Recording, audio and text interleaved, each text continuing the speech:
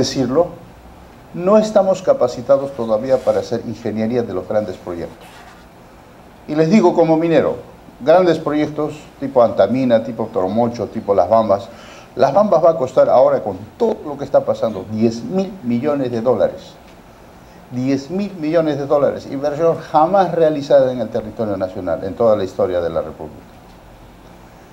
Y, el proyecto Las Bambas, dirán ustedes, es un proyecto minero, pero este proyecto minero involucra toda la sabiduría humana, todas las carreras. Porque el diseño involucra ingenieros estructuralistas civiles, ingenieros mecánicos, mecatrónicos, eléctricos, electrónicos, ingenieros de automatización, todas las ingenierías. No hay una que se escape, porque los diseños son miles de planos. ¿Y cuánto cuesta, cuánto cuesta la ingeniería en esos proyectos? 8%. 8. Si mil millones es el proyecto, ¿cuánto cuesta? 80 millones. Un proyecto de 5 mil millones, 350, 400 millones de dólares. Esa es otra fuga que se va, porque para desarrollar esos proyectos, así el metro de Lima mismo, ¿acaso se hace aquí? Los proyectos se hacen en el extranjero, se hacen en Estados Unidos, se hacen en Europa, se hacen en Australia. Ese es un hándicap que tenemos todavía. Pero tenemos campo para avanzar. Un día los peruanos diseñaremos aquí todo lo que ejecutamos, todo lo que construimos. Claro que hay empresas peruanas de ingeniería que ya hacen proyectos medianos, pequeños. Ahí está la empresa de GMI, la empresa eh, Visa Ingenieros y otros más. Proyectos de 100 millones, proyectos de 200 millones, pero proyectos grandes, como la expansión de Cerro Verde, 5 mil millones. Todos los proyectos vienen de afuera. Claro que en esos proyectos hay, participan muchos peruanos, eso también hay que decirlo. Pero así muy, muy, muy, muy contado el tema de la participación de la ingeniería peruana. Entonces ahí hay que reflexionar el por qué el Perú todavía, ahí nos damos cuenta también de dónde estamos ubicados. ¿Por qué no somos capaces de desarrollar toda la ingeniería de detalle de la construcción de un proyecto grande. Esto en este caso mina, mina, pero un proyecto hidráulico, una hidroeléctrica grande, una, una, planta térmica, ¿no? Esos, ahora este, el último planta de, de inaugurarse, ¿cómo se llama? Esta, de 570 megawatts, que con eso llegamos ahora al 50% que ya energía a base del gas de camisea, igual el diseño de todo ha venido desde, desde, desde otros países, ¿no? Bueno, muy importante es el talento humano. ¿ya? Este es nuestro país, vamos a avanzar. Aquí está el Perú, orográficamente, morfológicamente, y estos son tres cortes transversales, ¿no? Secciones transversales. ¿Cómo es la parte norte aquí? ¿Cómo salimos de la costa, ¿no? La cordillera, bajamos la selva, y acá en esta parte también en la parte sur y acá hay una, acá en la meseta del altiplano, ¿no? Cuatro, casi 4.000 metros sobre el nivel del mar. Ese es el territorio nacional. Eso tenemos que conquistar. Eso tenemos que gestionar sosteniblemente. El territorio que nos dio la naturaleza. ¿No? Inversión en infraestructura. El Perú, dentro del ranking de competitividad global, está jalado. De 148 países estamos en el puesto 65. Hemos retrocedido 5 puestos respecto al año anterior, 61 estábamos. Solamente en tres variables estamos bien. Uno, manejo macroeconómico. Uno, tamaño de mercado gracias a los TLCs. Hoy tenemos casi más de 60 países con los que podemos negociar venderles y venderles ya con arancel cero, comprarles y venderles, ¿no? Y también el sistema financiero ha mejorado mucho.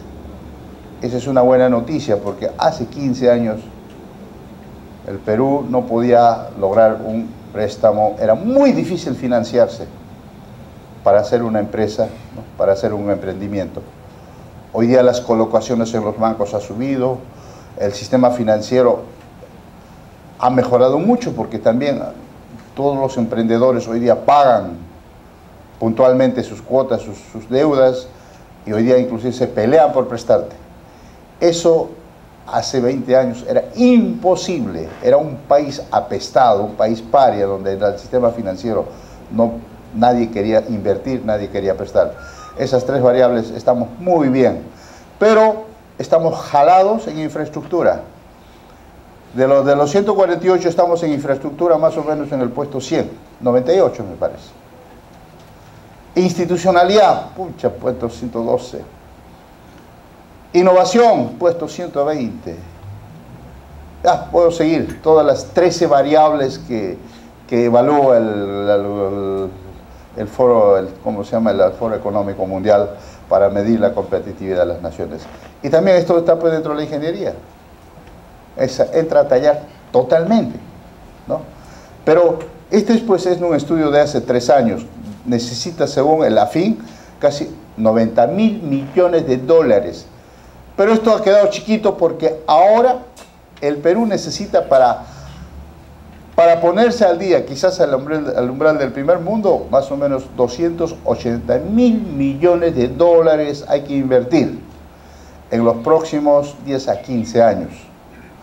Eso implica supercarreteras, túneles, ductos, ferrocarriles, aeropuertos, Dicen que el aeropuerto Jorge Chávez es uno de América, el mejor de América Latina. Para mí es una risa.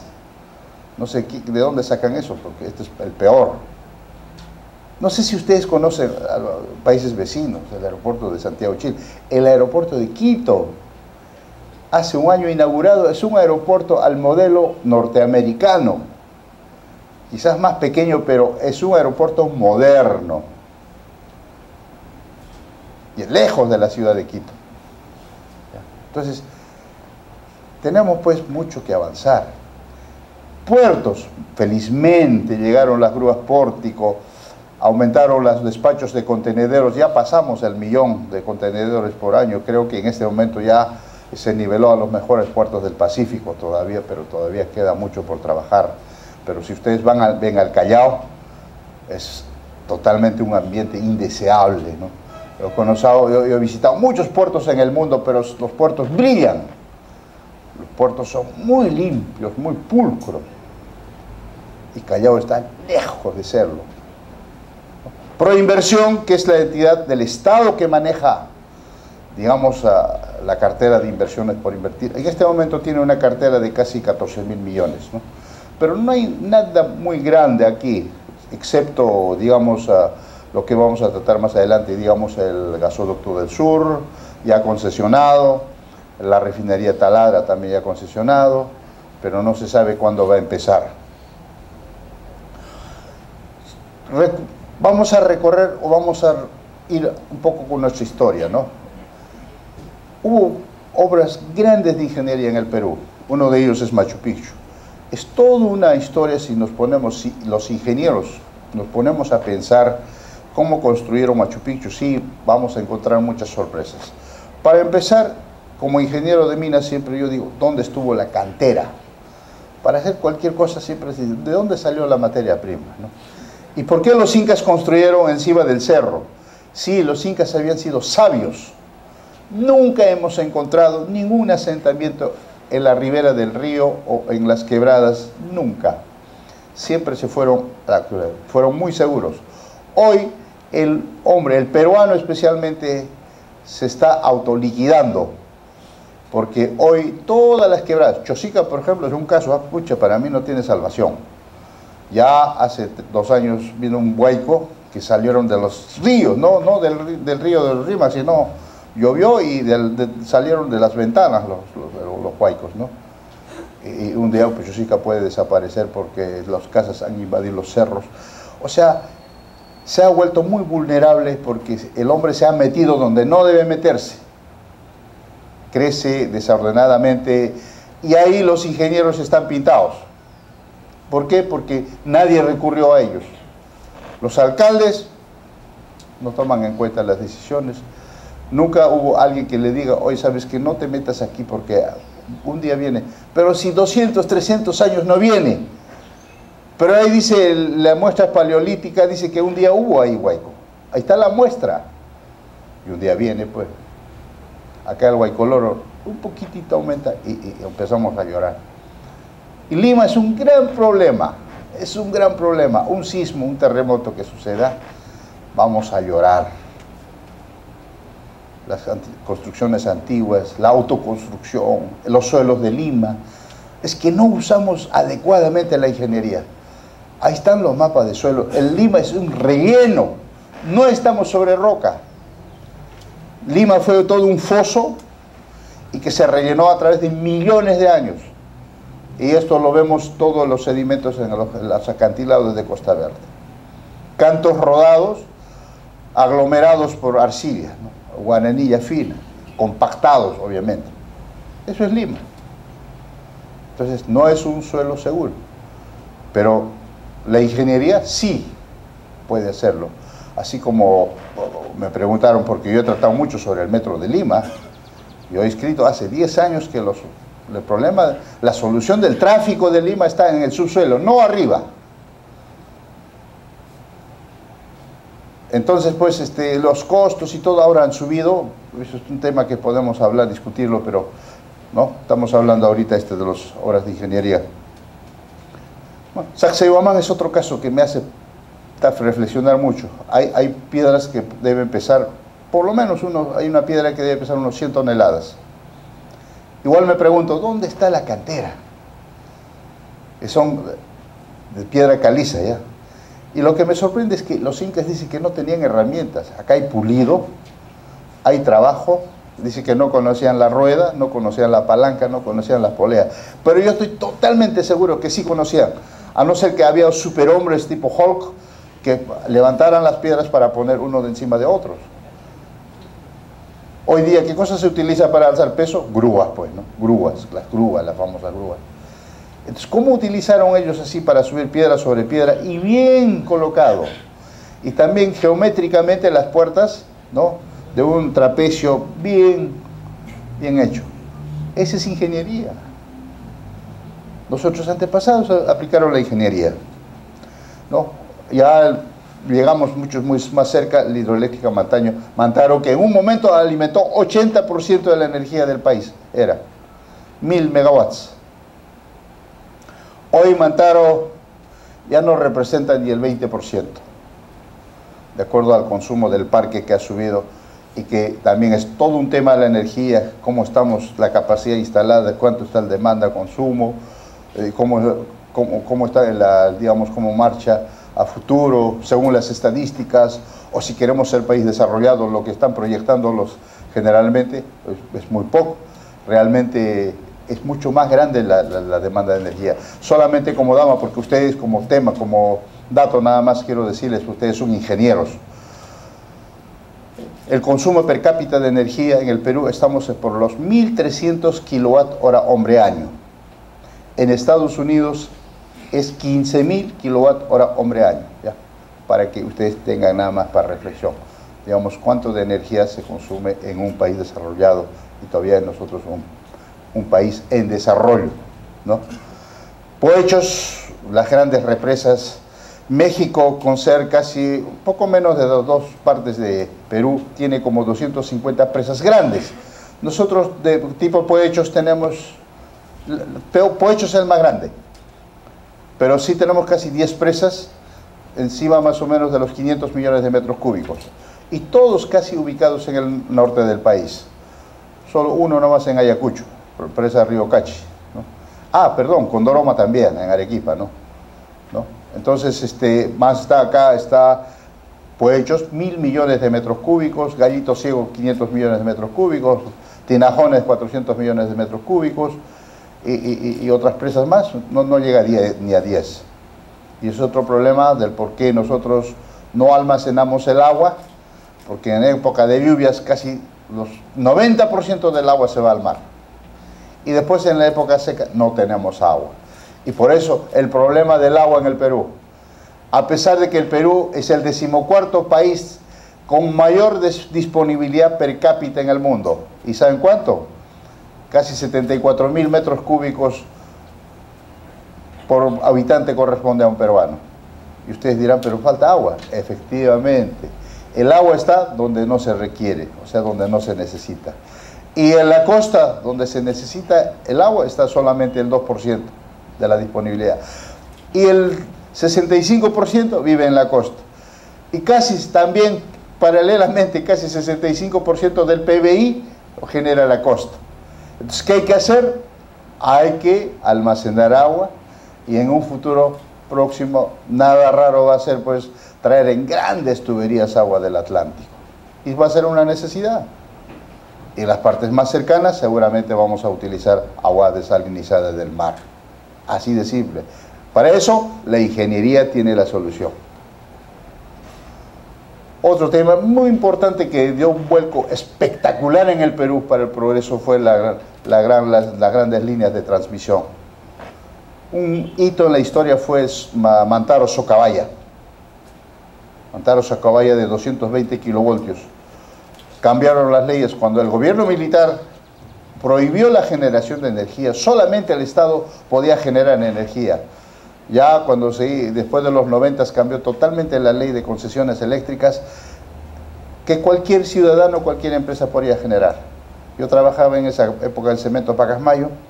Nosotros teníamos motores Sulzer de 9 megas, tres motores Sulzer suizos, 9, megas, o sea, 9000 kilowatts.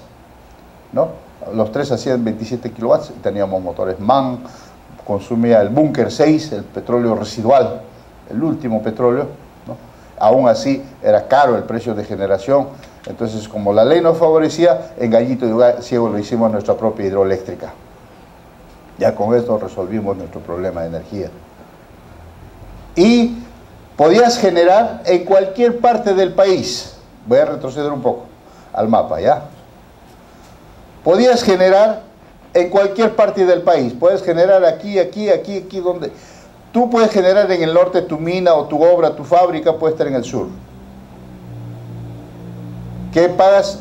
Conectas al sistema interconectado y pagas un peaje y jalas tu corriente donde sea. Es así ahora. Por ejemplo, en este momento Cerro Verde está haciendo una planta térmica aquí en Las Valleque y Cerro Verde está acá. Una planta térmica va a ser grande acá en Reque y entonces enchufa al sistema interconectado y su corriente lo baja en él. ¿no? Esa es una gran facilidad. Ahora no solo eso, ahora este ya se ha hecho de Lima hasta Montalvo y también al norte ya líneas no solamente de 220 kilovoltios, 500 kilovoltios.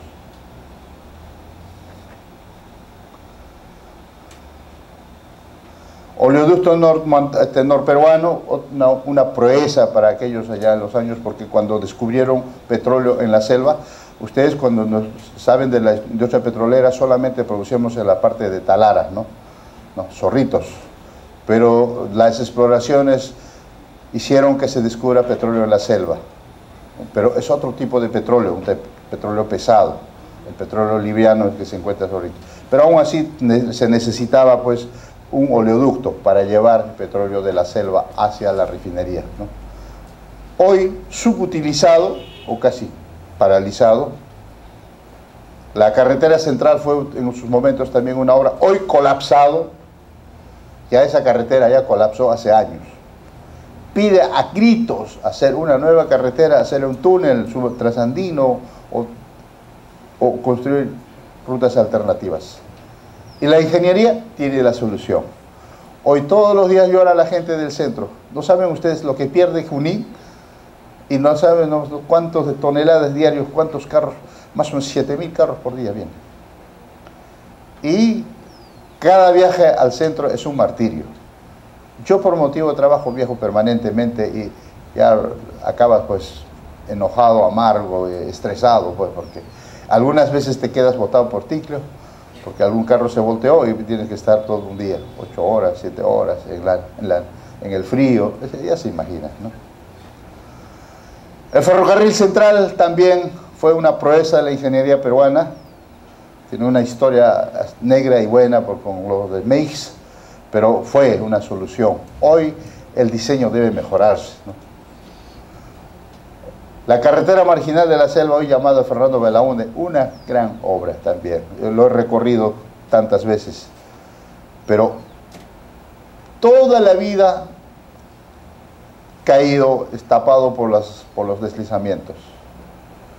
Ahí faltó hacer ingeniería, más precisión para poder soportar esto de las caídas.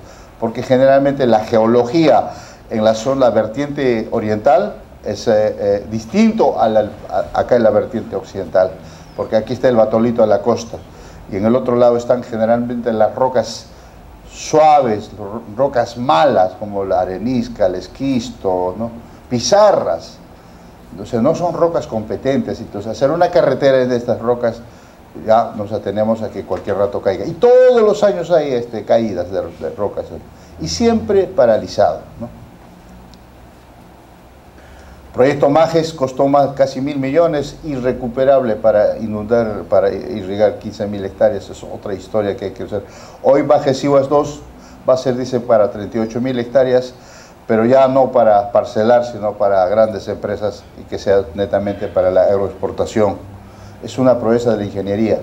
Yo empezaba mis, mis pininos en esa época, y era una obra emblemática porque vinieron empresas de Sudáfrica, de Canadá, de España, eh, con Macon, ¿no? Majes Consortium en inglés, empresas extranjeras hicieron casi más de 100 kilómetros en túneles, casi mil kilómetros desde las alturas de Condoroma para llevar a las pampas de Majes en Arequipa.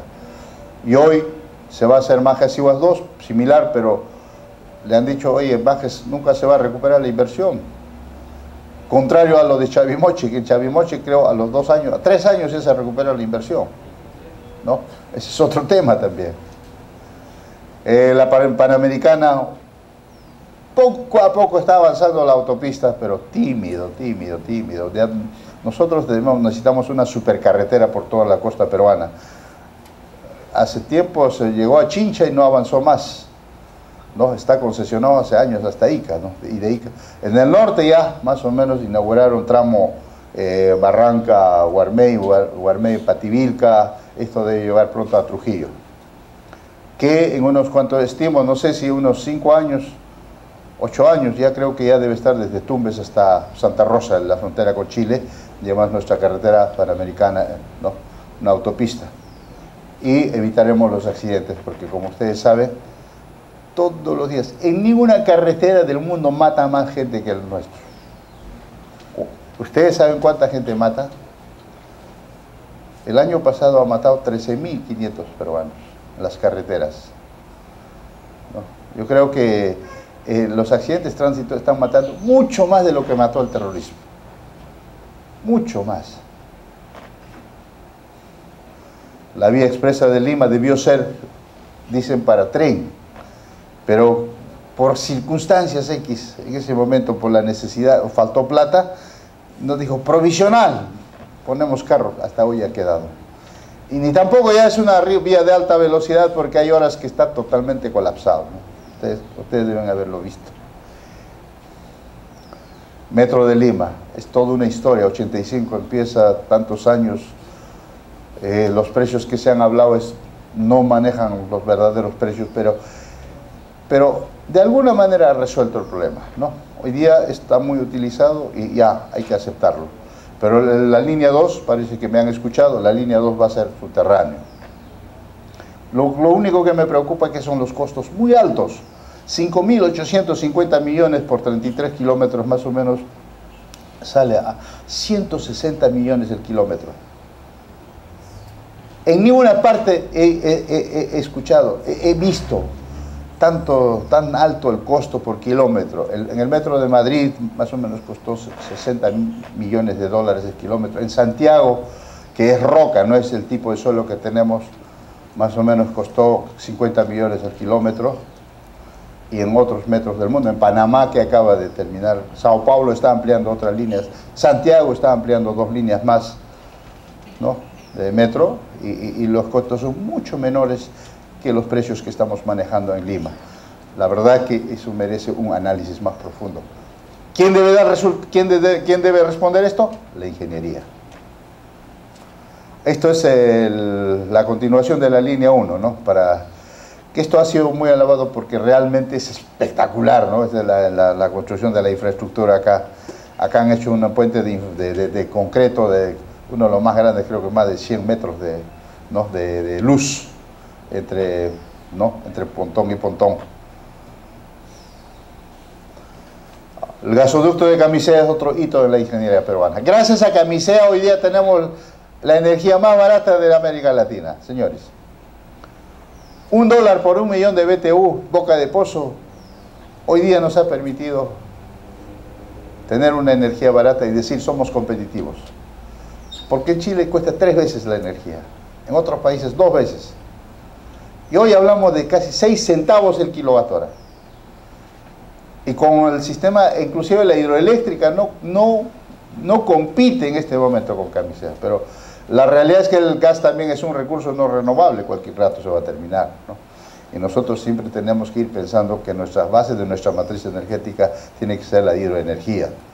Porque, según el estudio de Electro Perú, voy a retroceder siempre, este, el estudio de Electro Perú, tenemos un, más o menos, podemos generar casi 200 mil megas de energía de hidroenergía, pero económicamente 58 mil megas, o sea, casi 60, la tercera parte, 60 mil megas. ¿Y cuánto tenemos en hidroenergía instalado? Porque ahorita estamos casi con 6 mil megas instalados. 2.500 megas, nada más. Mantaro es en hidroenergía más del 50%. Ahora está en construcción dos hidroeléctricas grandes, la historia va a cambiar. Chajlia y Cerro el Águila. Chajlia y Cerro el Águila, cada uno con casi 450, entre los dos mil, mil megas más al, parque, al parque de generación en el Perú. Pero en un ratito, eso es una hidroeléctrica toma casi 10 años como una mina. Pero hacer una planta térmica demora 2 a 3 años, nada más. Acaban de inaugurar una planta, como les decía, de 570 megas, Calpa mucho más fácil a base para gas de camisea.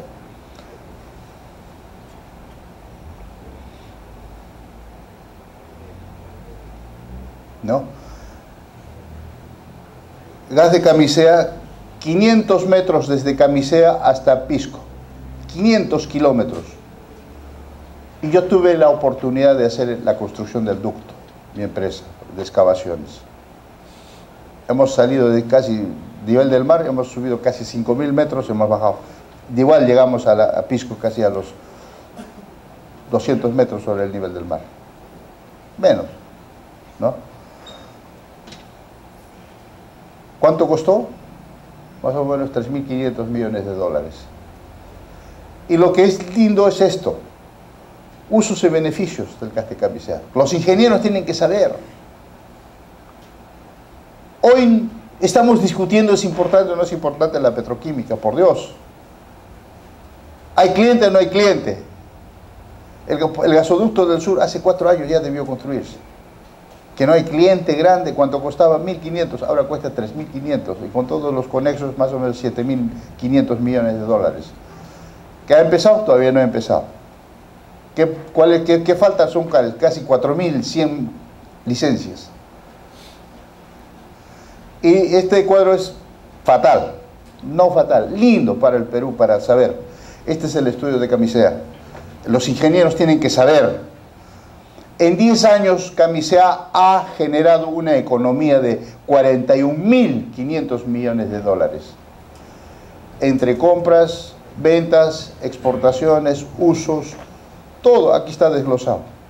En el sector privado, en electricidad, en el sector público, externos, ventas, exportaciones, casi a razón de 4 mil millones de dólares. Cuando vemos los números recién nos damos cuenta que es muy importante. Y hay más gas, hay mucho más gas. Los geólogos, petroleros, expertos dicen mucho más gas. ¿Qué hay que hacer? Hay que explorar. Pero para explorar, ¿qué quieres? Tienes que consumirlo. Juan, ¿con cuánto partimos? 14 14 millones, 14 millones, trillones de pies cúbicos. ¿Cuánto se ha consumido en 10 años? ¿Alguien me puede responder en esta sala? 2 trillones. Ahora otros lotes más se han descubierto con 2 trillones, otro el lote 88. Creo que total en este momento podríamos estar hablando de casi más de 20 trillones. Pero según los geólogos tenemos mucho más, mucho más, pero hay que explorar. Pero la exploración cuesta. Ahorita hay problemas de, de consulta previa, las cosas se han complicado. Pero un pozo en la selva cuesta hasta 100 millones de dólares. Más barato es en el offshore perforar pozo en el mar, en el zócalo continental, que en la selva. Mínimo un pozo cuesta 20 millones de dólares, señores. Pero tenemos que ser realistas. En el Perú se perforan 5 a 7 pozos. En Colombia se perforan 100 pozos. En los 80 Colombia, Colombia nos compraba la mitad de nuestra producción de los 200 mil barriles. Hoy Colombia produce un millón de barriles de petróleo por día. Y nosotros 63 mil barriles y por alguna mejora hemos aumentado casi a 70 mil barriles hoy, en este momento. Producíamos 200 mil, ha bajado.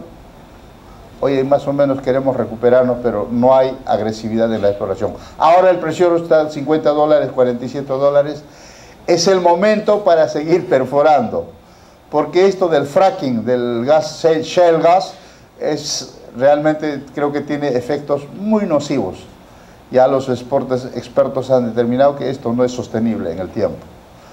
Y eso y otros temas más han hecho bajar el petróleo. Ahorita, en unos cuantos días, meses, va a haber un rebote del petróleo. Porque sigue siendo y va a seguir siendo siempre una fuente de energía muy importante. La interoceánica, otro reto grande que en este momento todavía no es bien utilizado, ¿no? Eh, son más de 1.500 kilómetros de carretera, ¿no? con dos ramales, y inicialmente se dijo 800 millones de inversión, ha terminado al final 1.600 millones de dólares. ¿Que nos conecta al Brasil? Sí.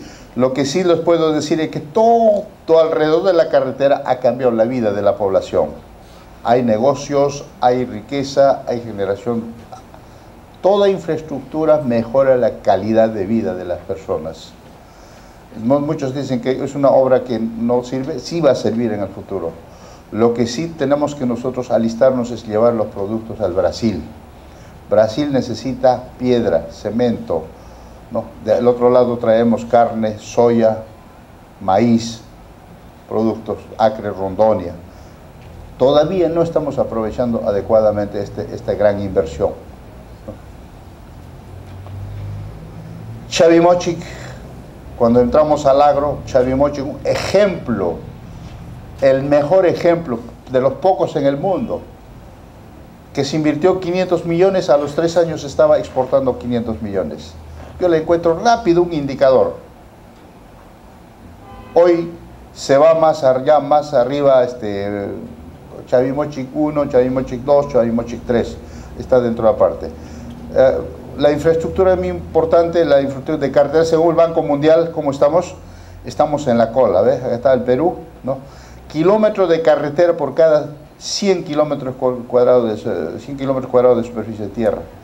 Este es el PBI per cápita, no, nosotros estamos por los 6.000 o 7.000, o sea, estamos en el suelo. O sea, lo que tenemos en infraestructura es casi nada. Pero ¿cuál es la alegría de lo que puedo decirles a ustedes, señores ingenieros? Es que, ¿quién va a construir? Ustedes van a construir. O sea, hay futuro. No nos sentamos. Bueno, nos falta mucho, pues, pero hay trabajo. Hay trabajo futuro, pero grande. Por eso necesitamos quienes tomen decisiones de una vez enrumbarnos al primer mundo. Porque para llegar, como les dije, al primer mundo con una infraestructura de supercarreteras, trenes que no estamos hablando de 100 kilómetros, sino 350 kilómetros por hora. 280 mil millones de dólares. Hay mucho trabajo. Vías férreas, obviamente que El costo de transporte por llanta, por tren, es casi 4 a 1. 3.5 exactamente. Si un kilómetro, si un tonelada yo lo voy a mover por, por vía férrea versus neumáticos, o sea, por camiones, menos de la tercera parte es el costo. Así que con eso lo hace más competitivo. Y el costo de construir una vía férrea es mucho más barato también que una carretera. Hay unos cuadros comparativos que los, los especialistas, quienes están ¿no? este, vendiendo la idea de ser un país con trenes, ¿no? lo tienen mucho.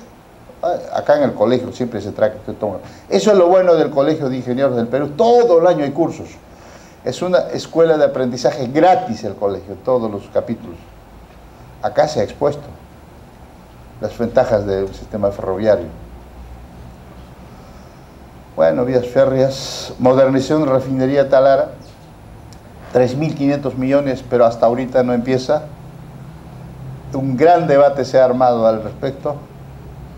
Muchos especialistas, incluido no soy tan especialista en el petróleo, pero solo la lógica de ingeniero me dice, con 3.500 millones yo construyo una nueva refinería.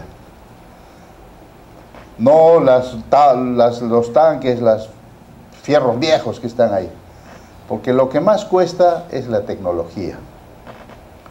Es otro, es otro reto grande. Igual acá entran todas las ingenierías. Civiles, mecánicos, eléctricos, electrónicos, mecatrónicos, todos, todos, todos, todos son necesarios, todos participan. Minería, yo soy minero y les digo, con, tenemos bastantes reservas, tenemos 16% de las reservas mundiales en cobre, en plomo, plata, oro, promedio, 16%. En cobre casi 15%. Chile, 33%. Entre Chile y Perú tenemos más del 50% de las reservas mundiales de cobre.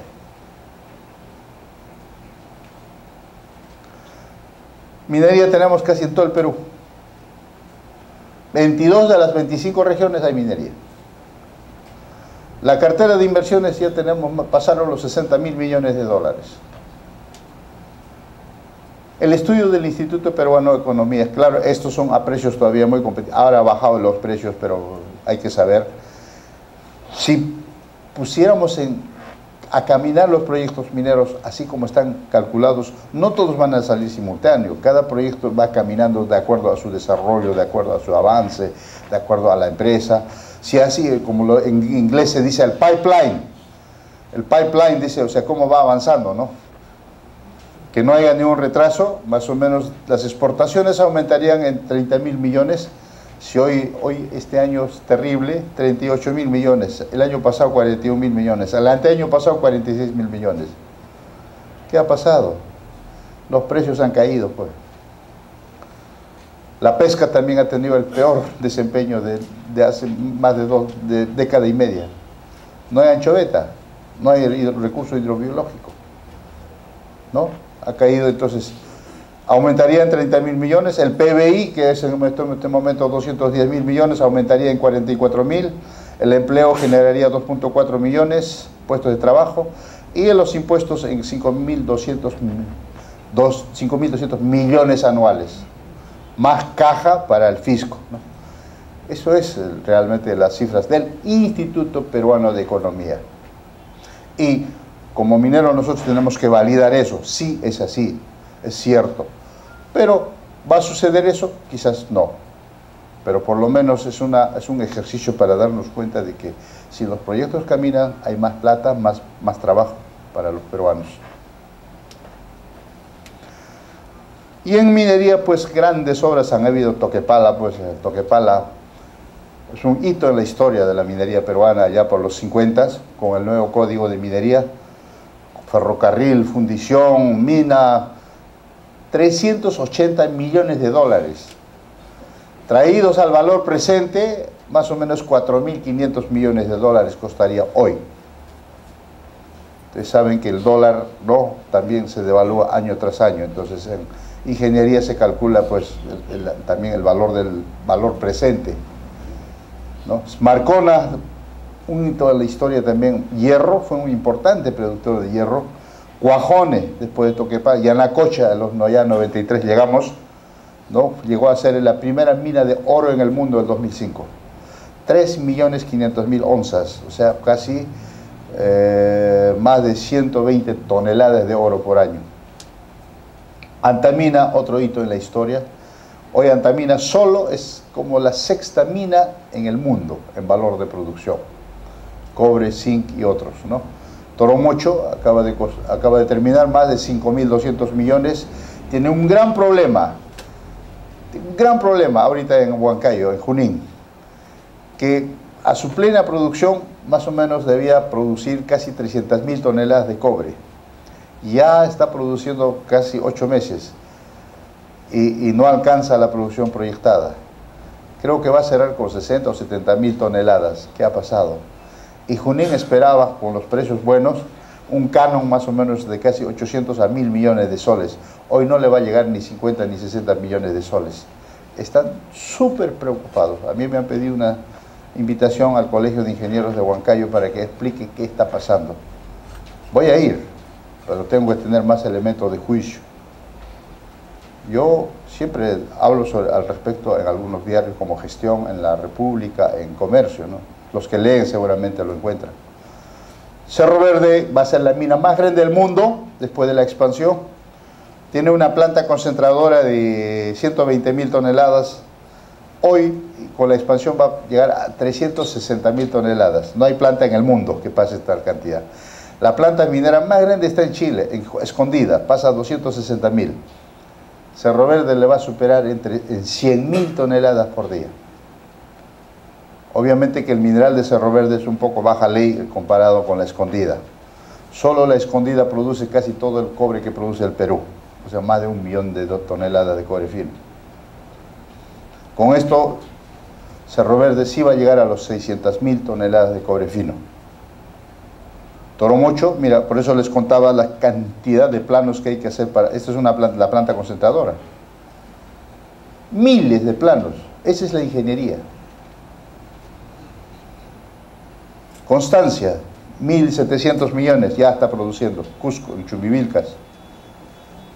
Las Bambas, va a pasar 140, dice que al final va a pasar 200.000 toneladas. Una de las minas más ricas. Hay Bambas para 100 años hoy lo tienen los chinos. Por eso la, inversión va a llegar más o menos a los 10 mil millones de dólares. Chavimochi, etapa 1, etapa 2 o etapa 3. Al final más o menos se va a irrigar algo de 70 mil hectáreas. Un modelo de, trabajo Chavimochi. Acá llega hasta Paiján prácticamente. ¿Y gracias a qué? al agua de Ancash, el río Santa. El río Santa viene, nace en Conococha, el río Tablachaca nace en Pelagatos, conozco todo el Perú. Se juntan en Chuquicara, es el río más caudaloso de la costa peruana.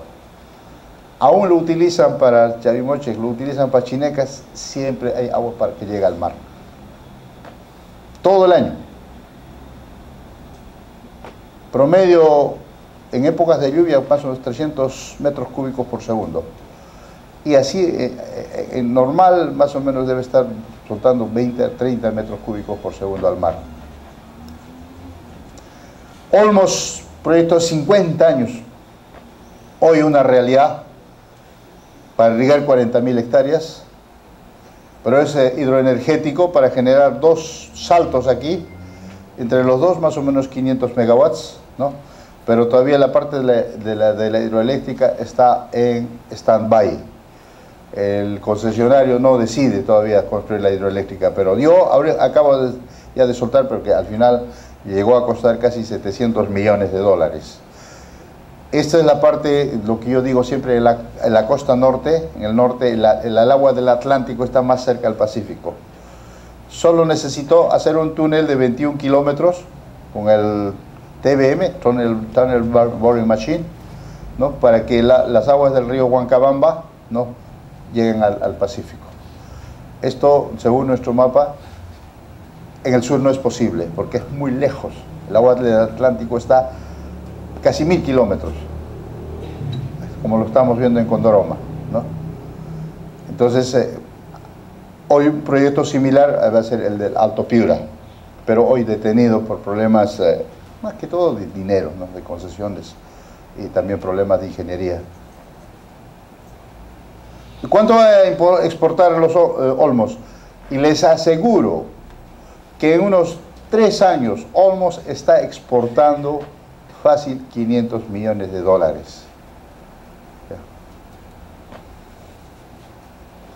Majesiwas, como les decía, el Atlántico está lejísimo, hay que hacer 500, 600, 700 kilómetros para traer el agua. Retos, gasoducto del sur, mil kilómetros de ducto, el inicial les dije 500 kilómetros, es el doble, va a emplear no menos de 20 mil puestos de trabajo, no menos. Ahí tenemos trabajo, ahí tienen trabajo los ingenieros.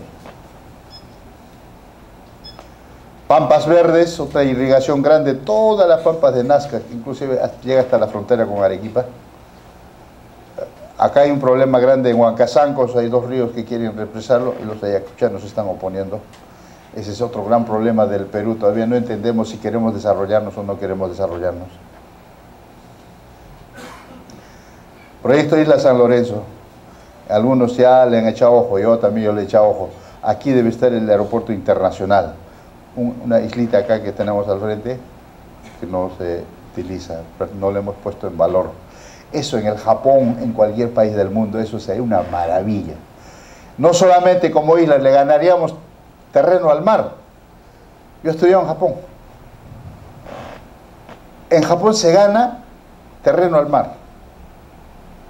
El aeropuerto Kansai, uno de los aeropuertos más modernos del mundo, está en el mar. No es que es una isla artificial con piedra, con roca, que lo han rellenado. Y se ha creado el aeropuerto. El aeropuerto.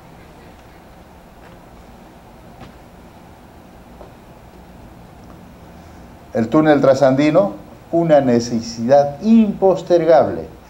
Si yo fuera gobierno sería la primera obra que haría. De 23 kilómetros, desde acá, desde Río Blanco, que está San Mateo más arribita, sale Yauli. Y acá continúa, ¿no? A la Oroya. ¿Sabes cuánto se ahorraría de acá a Huancayo en este momento? En condiciones normales, en camionetas, 7 horas. Más o menos se ahorraría dos horas dos horas y algo más. O sea, Huancayo estaríamos en cuatro horas y media a cinco horas, máximo. Y no solo eso, esta ventaja. Yo soy geólogo y minero. Aquí vamos a encontrar cualquier cantidad de vetas. Cualquier cantidad de vetas mineralizadas. Y también vamos a encontrar abundante agua. Vamos a, vamos, todo lo que se filtra, eh, posiblemente todas las aguas del Mataro van a drenar para este lado. Lima va a tener más agua, eso sí les aseguro.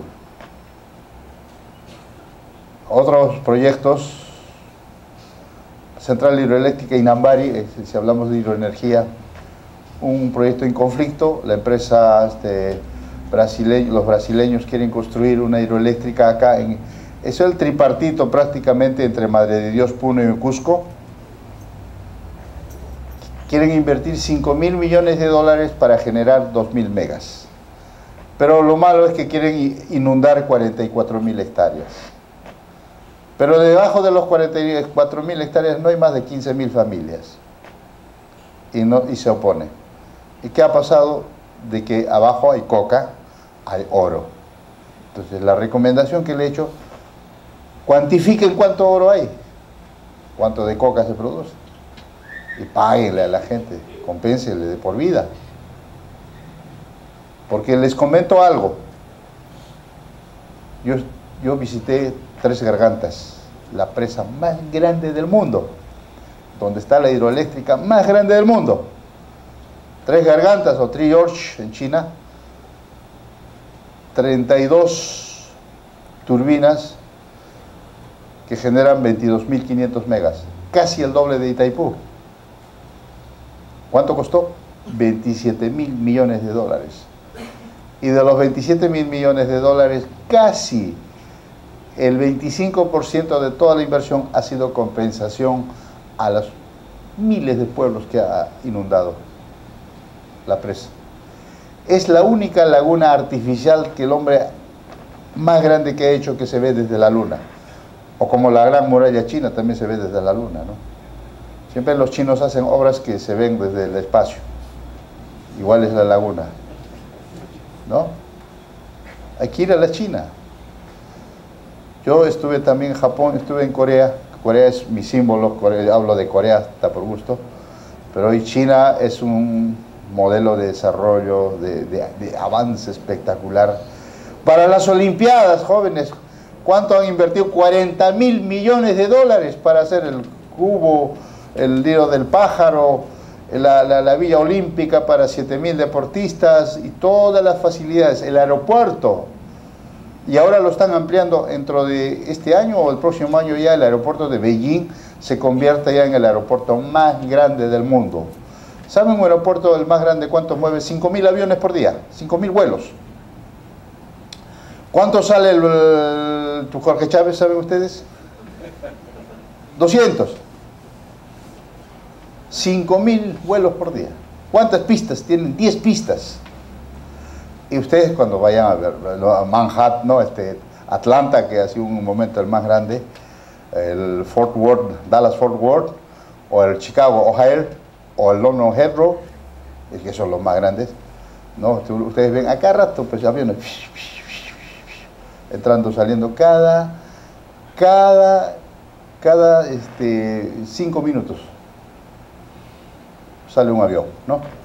Y son varias pistas. Entonces acá se opone la gente para hacer la hidroeléctrica. Hay un gran trabajo social que hay que hacer. Y dicen, algunos dicen, ¿esa energía se lo va a llevar Brasil? Sí, pero le vendemos, es una energía que se genera en el Perú. Va a la capital, brasileño. Pero entra en nuestras cuentas. Igual este, ganaríamos. Eso es lo que falta, educar a la gente el costo-beneficio de una obra. Nada es gratis, nada es gratis. Un desarrollo trae algo de costo. Hay un costo. La mina contamina, pues hay que decirlo, pero sí podemos mitigar, reducir, minimizar esa contaminación. Una hidroeléctrica también. Una irrigación también. Todo en la vida, todo lo que el hombre hace para ¿no? satisfacer su necesidad, siempre impacta. Cuando me dijeron la biodiversidad, el hombre, por ejemplo, para cultivar lo que tiene, destruye todo, limpia todo. Pero eso es parte de la biodiversidad. O sea, toda la hierba mala tenemos que eliminarlo. Y estamos matando la biodiversidad. Y solo cultivar lo que nos conviene, ¿no es cierto? Problemas que tiene que afrontar la ingeniería mundial en realidad el gran reto de los ingenieros hoy es enfrentar todo lo que sí viene más adelante. La huella ecológica, ¿no? pero la ingeniería tiene la solución. En otras latitudes están rompiendo el cerebro como por alimentar el mundo. Acá como dice el otro. ¿Cuánto necesitamos en este momento? Ya hemos sobrepasado la capacidad aunque algunos informes de la FAO dicen que todavía hay capacidad para alimentar, porque dentro de poco, en 2050 vamos a ser, en este momento somos 7 billones, en el 2050 dice que vamos a ser 11 billones. la gran pregunta, ¿habrá capacidad en la Tierra para alimentar a tanta gente? Muchos dicen que sí. Y haya empezado la, la ingeniería, la bioingeniería, que acá es una discusión terrible, o sea, los transgénicos. Los, visionarios dicen que tanta gente va a haber, la única solución va a ser los transgénicos. ¿Y qué son los transgénicos? Son los OGM, ¿no? Acá hay un terror, ya, incluso hay una moratoria de 10 años. Pero no hay ninguna, ningún ejemplo que la, hace tiempo que estamos comiendo ya transgénicos, ni en el mundo hay, no hay ningún caso que los transgénicos hayan hecho algún trastorno en, en el organismo humano. Nosotros hace rato que comemos, amigos, y ni cuenta nos damos. A ver, ¿saben cómo? Compramos más de 2 millones de toneladas de maíz. Y ese maíz es transgénico. Y lo alimentamos para los pollos. Y ese pollo tan rico que es el pollo a la brasa, ¿no? Lo estamos comiendo casi a menudo. La soya. Papa transgénica en Holanda, 70 toneladas por, hectárea. En el campo todavía nosotros 4 toneladas pero un promedio en ciertas zonas se ha mejorado el promedio nacional, o según la investigación del INIA, ya hemos, llegado a un promedio nacional de 12 toneladas por hectárea. Pero todavía en el campo, en el que yo vengo de ahí, 4, 5 toneladas de papa por hectárea.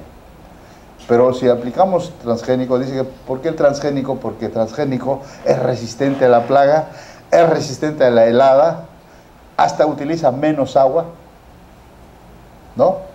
O sea que aparentemente tiene la solución para alimentar al mundo. Es todavía largo la discusión. Aquí hay eh, expertos que defienden a rajatabla, digamos, ya introducirlo. Pero hay una moratoria de 10 años, esperamos, porque todavía hay que decir la verdad, nosotros producimos en valor de comida 9 mil millones exportamos 4.700 el año que ha pasado, compramos 4.300. dentro de eso está el maíz, la soya, el trigo, casi mil millones de dólares en trigo. Compramos carne, ¿no? O sea que el agro ahí tiene grandes desafíos. Los ingenieros agrónomos, los expertos, los agrícolas ahí tienen un reto grande. El agro tiene grandes problemas. Uno, el agua.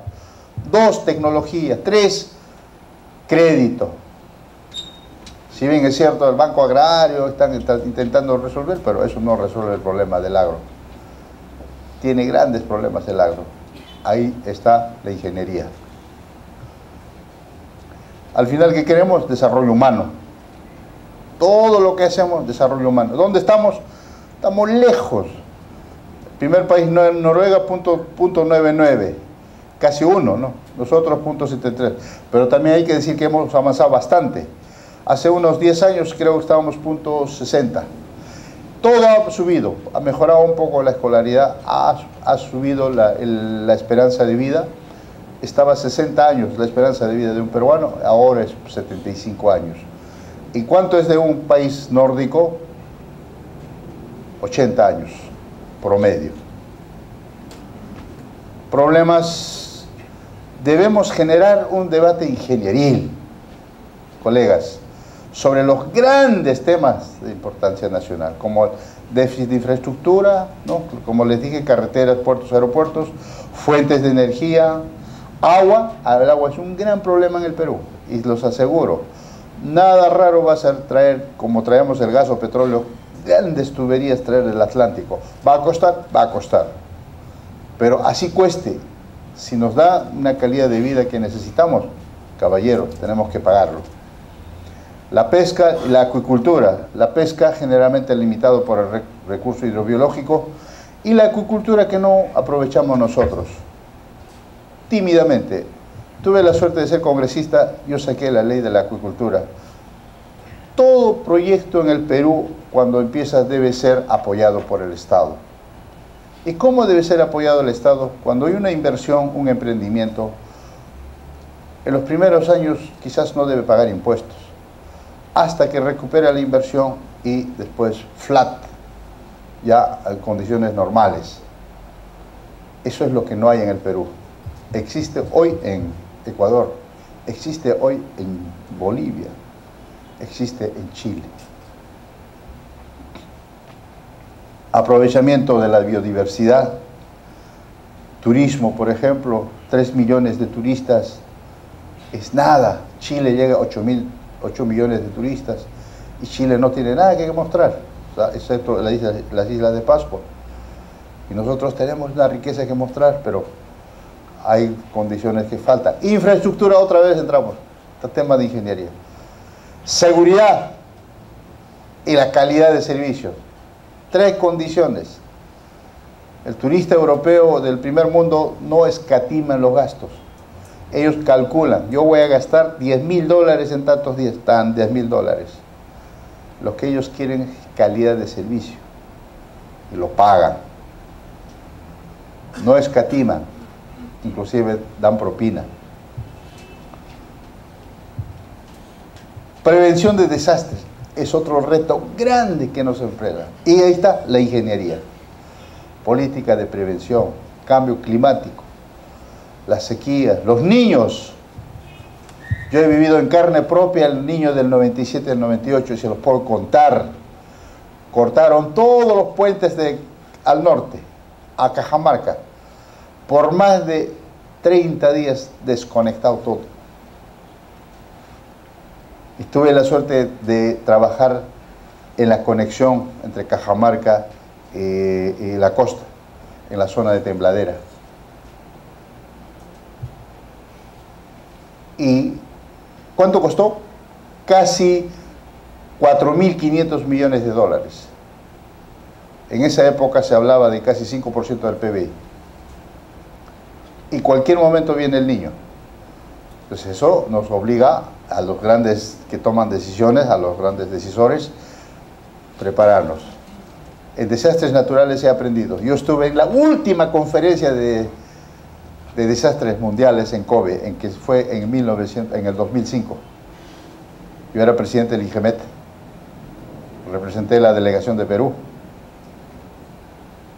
¿Por qué en Kobe? Porque se cumplían los 10 años del terremoto de Kobe el 1995, donde había matado 25.000 personas y había dejado totalmente destrozada la ciudad de Kobe. A los 10 años encontramos Kobe, era una ciudad más moderna, con un aeropuerto en el mar, ahí está Kansai. ¿no? Y era otra nota, para demostrar al mundo que dice los japoneses, ¿no? que la naturaleza no puede vencer al hombre. No puede vencer al hombre, el hombre vence a la naturaleza, que es ingeniería ingeniería. En, la, en, el Perú, la formación académica ¿no? que recibimos pues no analiza nuestro principal problema, la pobreza de millones. Eso, eso. Tenemos que tener cursos de, eh, de, de sensibilización en la rama de la ingeniería también. ¿no? La universidad todavía parece una isla el estudio de la pobreza, sus causas, forma de eliminarla, debe ser materia de estudio obligatorio en todas las carreras de la ingeniería. No es un tema que debe ser abordado solamente, hoy día lo abordan los economistas, los sociólogos, los ciencias sociales, ¿no? Pero no, los ingenieros también estamos, tenemos que estar involucrados para entender realmente pues qué cosas, cómo podemos ayudar nosotros. La ingeniería es quizás la herramienta más poderosa para vencer a la pobreza. China y los países desarrollados son el más claro ejemplo de esto. China va así y nosotros estamos yendo así. Contrario. China lo tiene claro. Hu Jintao cuando vino a la PEC lo dijo. El desarrollo de China se sustenta en el desarrollo científico y tecnológico. Así no es un desarrollo al azar, no es un avance al azar. Por ello, las tres cuartos del Politburo del Partido Comunista, de la cúpula más grande, son ingenieros. Por si no, no lo sabía, el presidente anterior, el anterior, Yang Zemin, era ingeniero eléctrico. Hu Jintao, ingeniero hidráulico. Y Xi Jinping es ingeniero, a ver, alguien, le doy un premio. Xi Jinping es ingeniero, ingeniero químico el actual presidente de la China. Entonces China ya lo tiene clarísimo. Ya China ha dicho adiós abogados, adiós, adiós economistas, adiós, ingenieros. Así que muchachos, es el desafío para el país. ¿no? Acá acaba de publicar Latino Minería acá en el mes de enero el complejo presente de la ingeniería. Latino Minería es, es es una entrevista. Soy yo. Estoy riéndome, ¿no? Totalmente. Dice, el que lee mucho, anda mucho, ve mucho y sabe mucho. Amigos, muchísimas gracias por...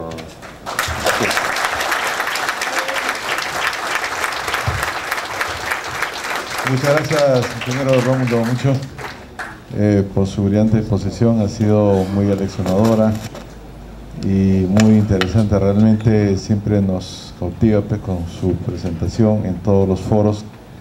Es un gusto tenerlo, es un, realmente un profesional, ingeniero peruano de tierra adentro, ¿no? y que pues ha sabido es emprendedor, empresario, y también los ingenieros no podemos decirle no a la política, la política como un hecho buena, auténtica, como ¿no? Eh, hacer el, lo demás no como los políticos de ahora, como los que tenemos. Eh, y eso es un, nuevamente, este, pues, por eso lo hemos invitado, para que nos pueda dar esta conferencia de motivación. Y qué mejor que uno de nuestra especialidad. Ya lo ha dicho él, está el ejemplo de la China, Japón, Corea, los países desarrollados, ¿no? Este, con los técnicos, los ingenieros, los científicos. Así que eh, ya cada uno sacará su propia conclusión. Pues hace un gusto. Y como testimonio de este agradecimiento, eh, la Comisión de Colegiación, le va a hacer un pequeño presente, ingeniero, por favor.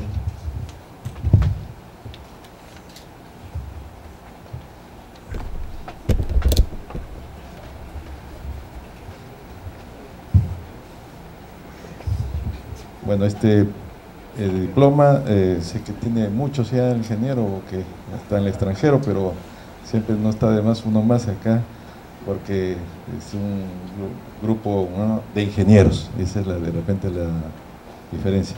Así que con todo gusto, a nombre de la comisión, ingeniero.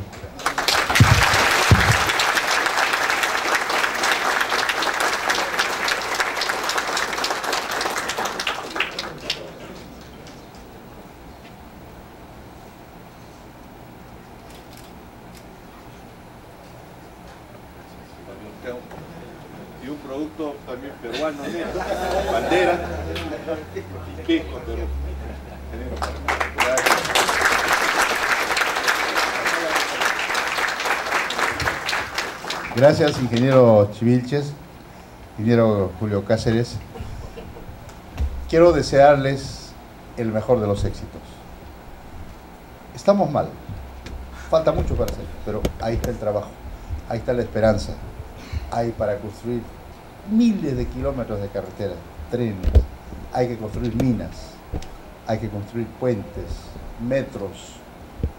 ¿Se dan cuenta ustedes que todavía estamos nada? Eso no debe ser problema para nosotros, más bien es una oportunidad. Así que hay que ser positivo.